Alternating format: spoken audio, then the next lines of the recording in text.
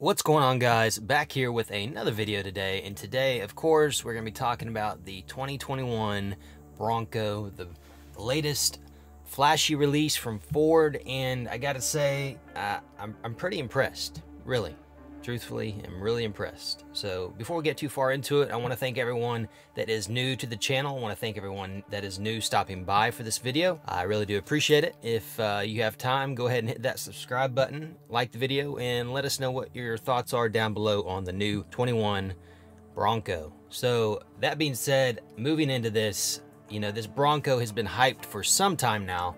And to be honest with you, my thoughts and opinions uh, around it with the leaked images and all of that stuff. I really wasn't that impressed, and to be honest, I thought it was going to be more just kind of a dull, you know, just a standard release of an older model, and um, I just didn't really have high expectations.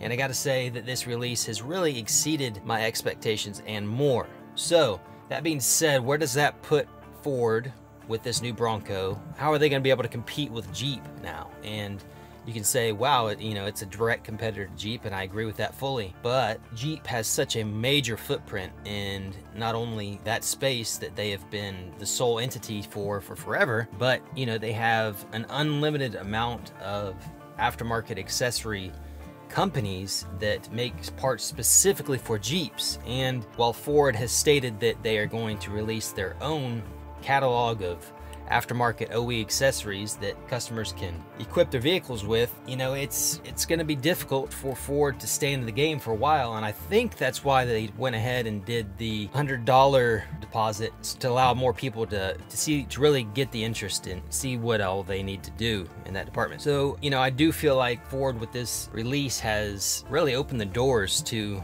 a lot of different options and the big thing is, is it is it going to sell? Are you going to be able to pull current Jeep owners away and uh, get them to buy the Bronco? What is your market exactly? Uh, how many people are going to buy this thing?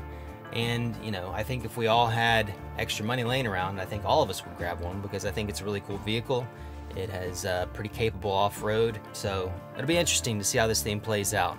Uh, touching a little bit more on the vehicle itself, the two and four door models are pretty cool. The Sport, you know, I really don't see a purpose for that thing, but uh, I think at some point it would be cool to take all three of them off road and see what their true potential is. In my opinion, I think the two door looks the best. You know, I think it does look like a cross breed between a FJ Cruiser and a Jeep, you know, and uh, in the looks department.